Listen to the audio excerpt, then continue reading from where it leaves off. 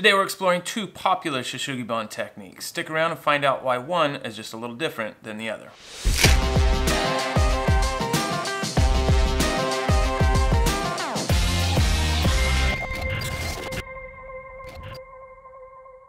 What's going on guys? I'm Jody. This is Inspire Woodcraft. Today we're talking Shou Sugi Ban. So the original series that we put out has done a lot of people a lot of good and answered a lot of questions. However, over the last couple months we've noticed a few comments that have said that it's too many steps, that you can achieve the same look with less steps, and so therefore you're just wasting time and energy and everything else. So I wanted to cut up a few samples and try it. So today we're going to try both techniques my way and the other way. So if you stumbled across this video and you don't know what a Shou Sugi Ban finish is, this, and to be fair, this,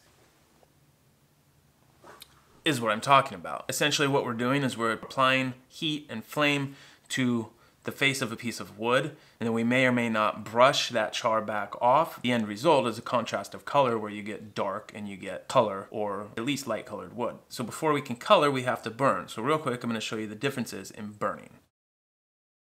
I'm going to speed a lot of this stuff up so you guys don't have to sit through too much, but essentially this is what is considered the easy way. I have the heat set to real low. I'm just going to go until the wood starts to color into a blackish brown.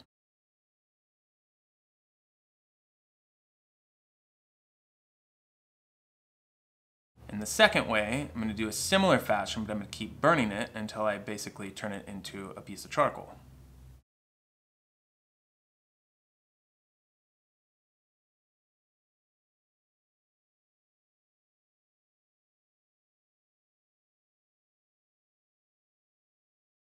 Now on the first piece, I'm not going to sand it, I'm not gonna brush it or anything else because there's nothing to brush. But on the charred piece, I'm gonna take this brush in the drill, I'm gonna go through and I'm gonna scoop out all that loose char that's in between the hardened grains.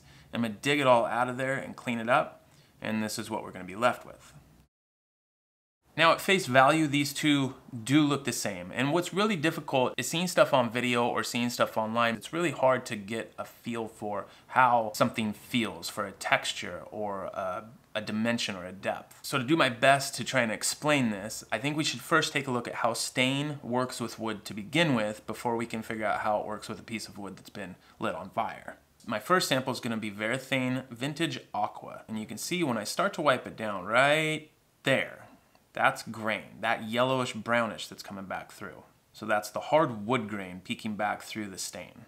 So next up is this Minwax Cherry, and to be fair, it doesn't really look very cherry E. But again, wipe it back down. Now this one wasn't really a fair example. This is gonna be blue dye stain. I'll use this stuff quite a bit. It's not really the same thing as a regular stain, but again, as you can see, when you wipe it back down, it's not going to absorb as much of that blue, although this one did fare pretty well. And last but not least is going to be Varathane Ebony. I figured Ebony would have the best chance of soaking into the grain a little bit and providing not so much contrast. But as you can see as I wipe it down a little farther, that grain starts to pop back through and reveal its ugly head. Now I know some of you at first might be thinking, well, yeah, dummy, if you wipe the stain back off, of course it's not gonna set. Well, I agree with you. If you wipe the stain back off, it's not going to set. In fact, that's a popular way of staining, is to stain and then wipe back off right away so that you don't get as much absorbed into the material itself. Another way is to actually stain the whole thing and just let it sit there and do its thing. There's a few different ways. My computer desk and my filing cabinet both have been stained, one with black and one with something I don't remember, that I stained them. I put a nice even coat of stain on there and I let them sit and I didn't wipe it back down. Now what you have to remember is that with this stuff, you're gonna actually wipe it back off. And so that's why I'm doing the test the way I'm doing them. So now let's go back to these two pieces and we'll take a look at what happens when you apply it to the burnt wood. Now first I'm going to start off with our burnt piece. This is not the one we brushed, it's the other one. I'm to set it aside, I'm to work on the one we brushed. Go ahead and fill all the little grooves and the gaps. You'll notice right now there's a bit more texture. So I'm gonna let this sit for three whole minutes or close. I'm gonna wipe off that first one again to make it a decent amount of time in between. And you can see right here, that's that grain popping through. But you notice what's kind of interesting is that the grain itself is almost a blue color and then the rest of it is black. Well, kind of.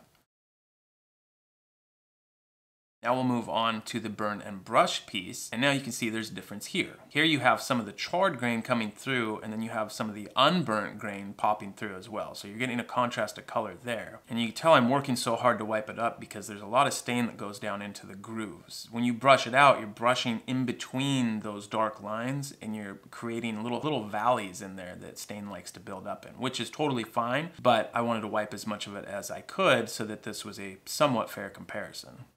And there we have them side by side. You can see the difference in texture as you go along, where one has those ridges and valleys as you dip between the rings, and the other one's nice and flat. The one on the right didn't take stain nearly as well. The one on the left took a lot of stain, but you end up with two totally different looks by the time you're done.